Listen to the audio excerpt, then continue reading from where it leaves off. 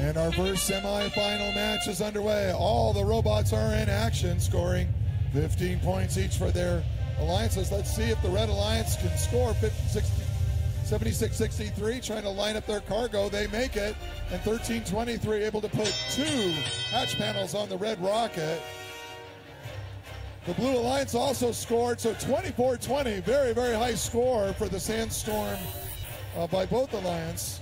1678 for the Red Alliance, putting a hatch panel on the on the rocket. So 1323 and 1678 on opposite rockets.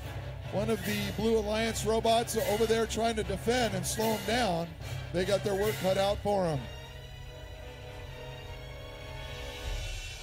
1671 adding cargo to the blue cargo ship. They pick up another one. Let's see if they can turn and place it into the blue cargo ship. It falls for them. That scores three points for the Blue Alliance. 37 red, 26 blue with just under 90 seconds.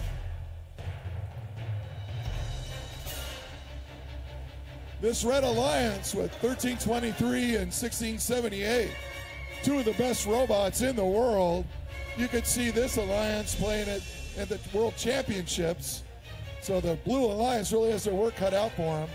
1678, trying to place a ball or a cargo ball into their rocket. They do so. And 1323 doing the same thing on the other side. 6804 for the Blue Alliance. Defending.